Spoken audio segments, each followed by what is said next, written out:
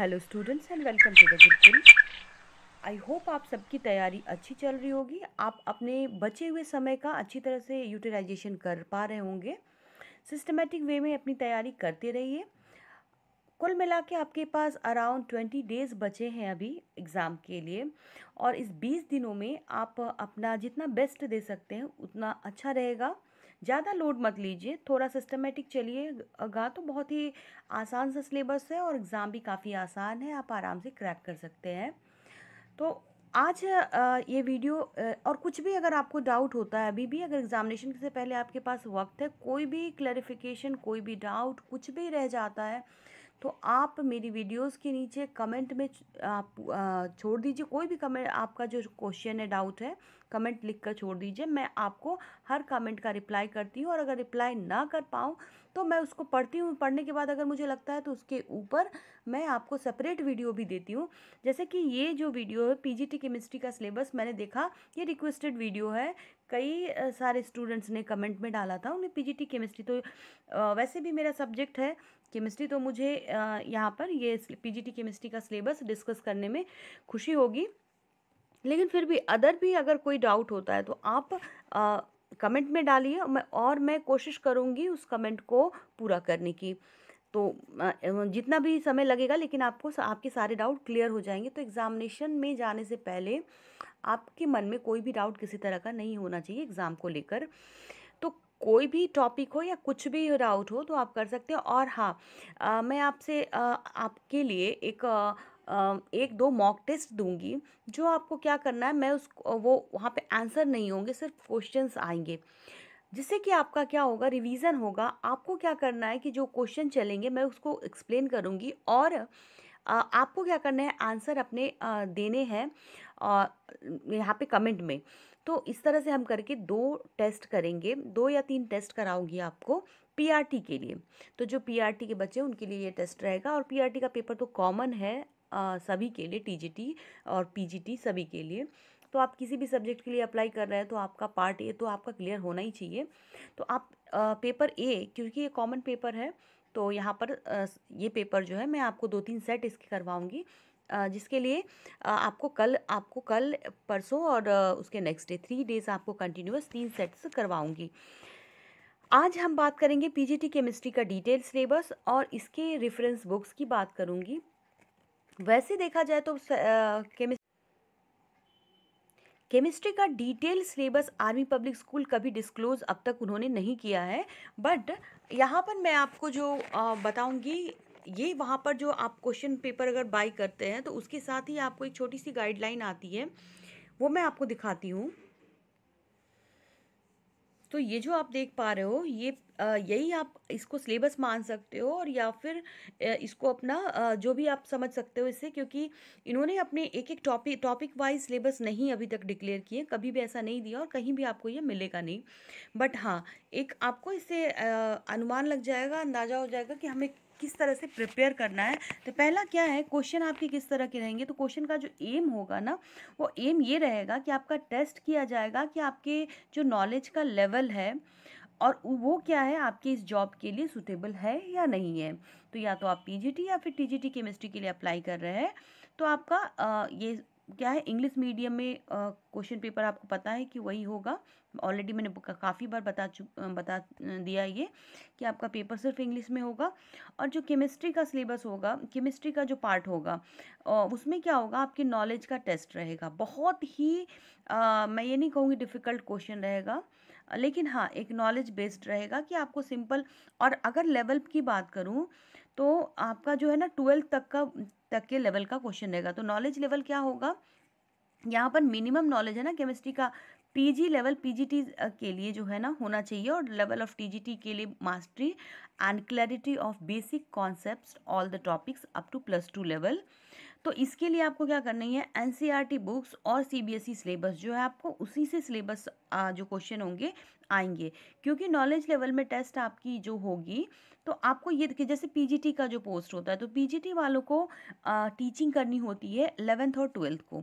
तो एलेवेंथ और twelfth level की आ, आपकी नॉलेज होनी चाहिए। पीजीटी के लिए अगर आप अप्लाई कर रहे हैं और अगर आप कर सको तो पार्ट वन यानी ग्रेजुएशन का जो पार्ट वन का जो ये होता है फ़र्स्ट ईयर का वो आप कर पाओ कवर तो बहुत ही अच्छा होगा।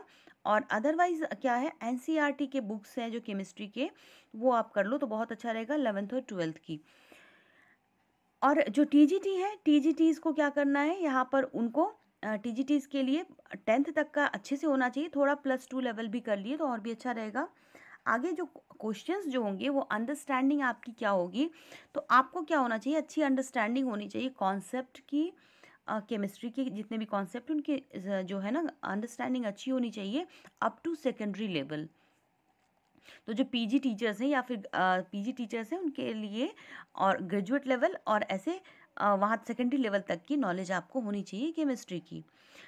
और यहाँ पर आपको एनालाइज करने आ, का जो है ना ये आपका ये होना चाहिए आप एबल होनी चाहिए कि आप एनालाइज कर पाओ कि आप जो क्वेश्चन पोज्ड और सेलेक्ट आपको जो मोस्ट रिलेवेंट आंसर है ऑप्शंस में से, क्योंकि एग्जामिनेशन लिमिटेड टाइम्स का होता है, आपके टोटल नाइन्टी क्वेश्चंस होंगे केमिस्ट्री से।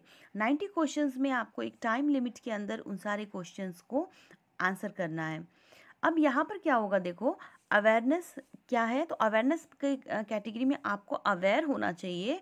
जो लेटेस्ट डेवलपमेंट हुए हैं in the relevant subject and teaching tools to make teaching and learning effective तो जो भी केमिस्ट्री में कुछ भी नया हुआ है तो ऐसा नहीं है कि सिर्फ़ आपने पी जी ट्वेल्थ तक का पढ़ लिया तो वहीं से क्वेश्चन आएँगे। कुछ ten to twenty percent question होंगे, जो करंट आपका भी केमिस्ट्री में कुछ नया हुआ है, कोई अवार्ड मिले हैं या फिर कुछ नई डिस्कवरी हुई है, उन सबसे भी क्वेश्चन होगा, जिससे कि आपकी नॉलेज जो है उसकी अवेयरनेस कितनी है आपकी, उसको चेक करने के लिए।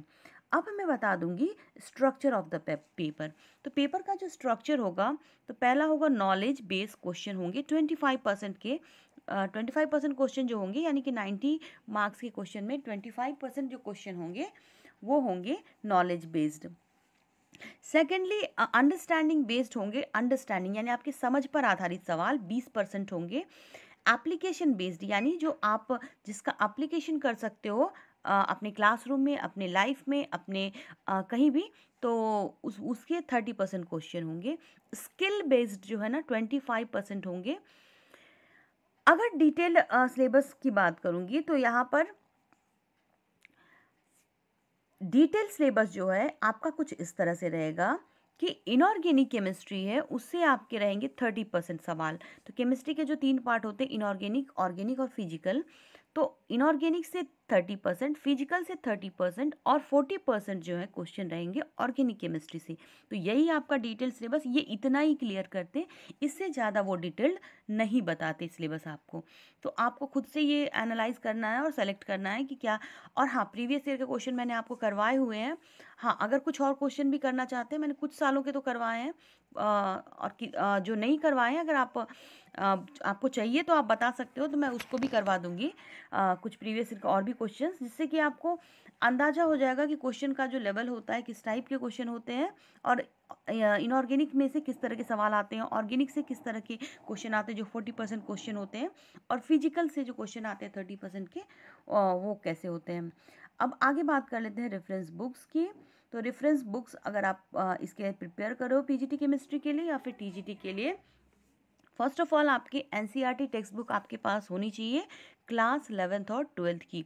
अगर ये बुक नहीं है तो कोई दिक्कत की बात नहीं, आप इसके पीडीएफ डाउनलोड कर सकते हो एनसीईआरटी की इजीली अवेलेबल है। और अगर आप थोड़ा सा अच्छे से तैयारी करना चाहते हो, आपका क्रैक करना चाहते हो तो हाँ जेडली की जेडली की बुक होती है इनऑर्गेनिक केमिस्ट्री की काफ़ी मोटी है कवर करना अभी पॉसिबल नहीं है ट्वेंटी डेज़ में। हाँ अगर आपके पास है और आप पहले से पढ़ रहे हैं तो आप उसको थॉरो कीजिए उसी से कंटिन्यू कीजिए आप। और फिनार की ऑर्गेनिक केमिस्ट्री की बुक आती है आ, वो कर सकते हो। और कपूर की physical chemistry Kapoor physical chemistry की आ, वो बुक आप ले सकते हो अगर अच्छे से प्रिपेयर करना चाहते हो उसके लिए तो। तो ये थे रेफरेंस बुक्स जो इनकी वेबसाइट पर ही अवेलेबल है और जो अगर आप बाय करोगे क्वेश्चन पेपर तो उसके साथ ही आपको मिलेगा। मैंने आपको यूँ ही दे दिया बाय करने की कोई ज़रूरत नहीं है इसको। हाँ कुछ क्वेश्चन पेपर अगर आपको और करने चाहते हो अपने रिवीजन के लिए तो ज़रूर कमेंट करना, मैं आपको और कुछ प्रीवियस क्वेश्चन पेपर करवा दूँगी, जिससे आपकी अंडरस्टैंडिंग और भी अच्छी हो जाएगी। और हम कमेंट करते रहिए जिससे कि आपके डाउट्स हों, वो भी क्लियर हो जाए और मुझे भी समझ आता रहे कि आप, आपके मन में अभी तक कुछ भी अगर क्लैरिफिकेशन है और मुझे आगे क्या करना है, वो मुझे भी एक डायरेक्शन मिल जाता है। जल्दी मिलती हूँ नए वीडियो में। Till then stay safe stay connected thanks for watching